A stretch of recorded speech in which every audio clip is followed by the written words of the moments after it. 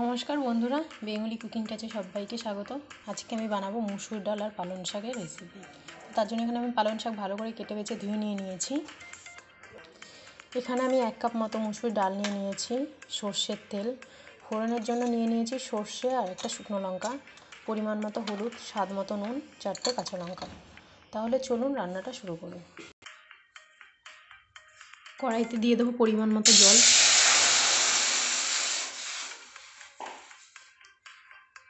জলটা একেবারেই দিয়ে দেবো।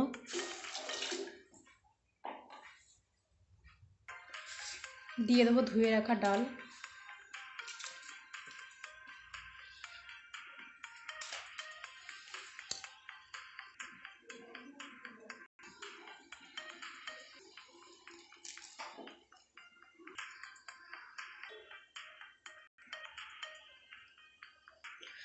ডাল অর্ধেক সিদ্ধ হয়ে এসছে, এবার আমি পালং শাক দিয়ে দেবো।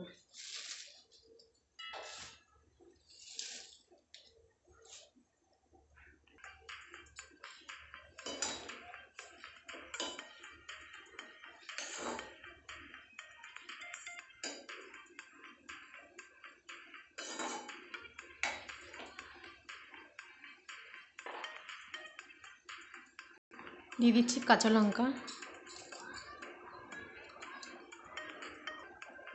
দিয়ে দিচ্ছি স্বাদ মতো নুন।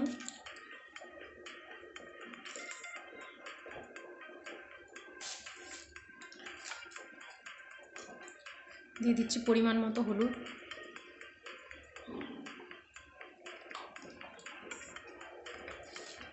দিয়ে দেবো সামান্য সর্ষের তেল।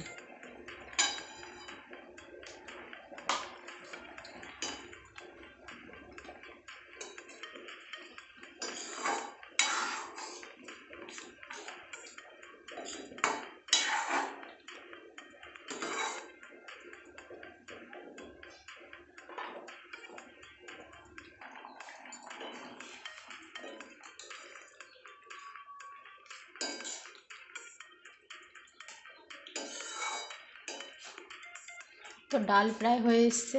আমি এবার নামিয়ে নেব, সোমবারটা দেবো।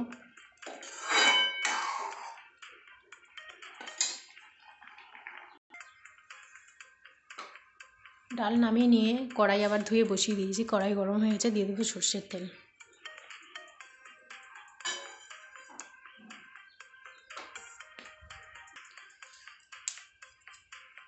দিয়ে দিলাম শুকনো লঙ্কা।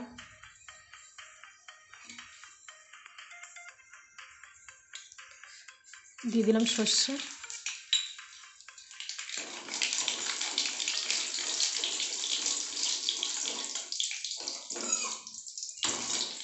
এবার আমি ডালটাকে দিয়ে দেবো।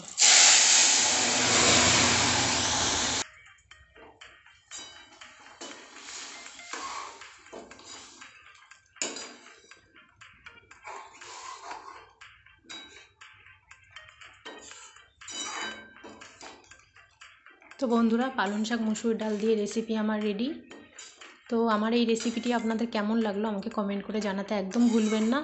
আর হ্যাঁ ভিডিওটি যদি ভালো লেগে থাকে তাহলে এটা লাইক করবেন শেয়ার করবেন এবং আমার চ্যানেলটিকে সাবস্ক্রাইব করবেন। আর আপনারা সবাই খুব খুব ভালো থাকবেন। ধন্যবাদ।